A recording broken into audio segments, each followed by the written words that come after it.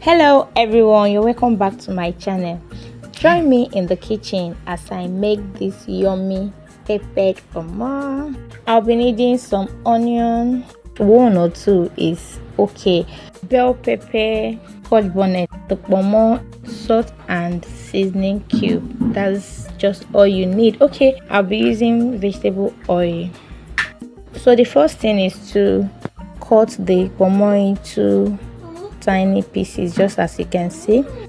I clean the kpomo with salt and iron sponge. The iron sponge is dedicated to kpomo i don't use it for any other thing. If you have a strong brush it's fine.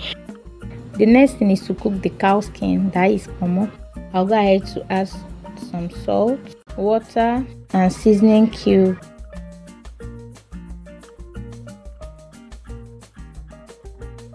I have just one bulb of onion in the blender together with pepper.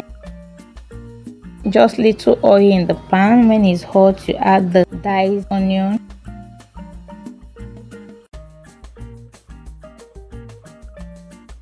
We are not frying the onion to you know to dry. I blended this pepper without water.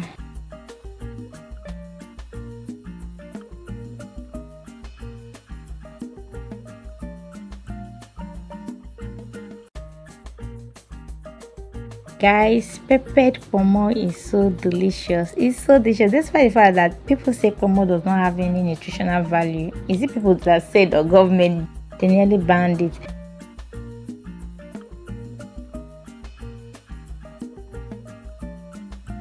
So i just added um, a seasoning cube and the salt little salt. Remember i seasoned the kpomo already.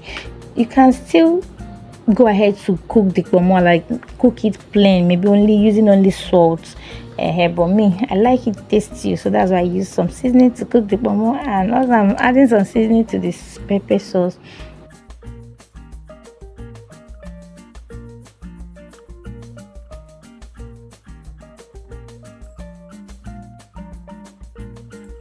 I just poured in the kpomo to the sauce so have to combine make sure that all the kpomos make sure that all the kpomos you know i don't know if the grammar is correct but make sure that all of them are well coated with the sauce and then you leave it a little you know for like two minutes for the pepper with the sauce to enter into the kpomo so well.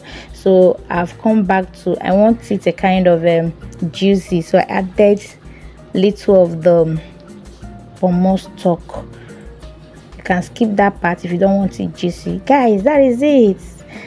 Please subscribe to my channel give this video a thumbs up and then how do you enjoy this? You enjoy this with a very chilled drink of your choice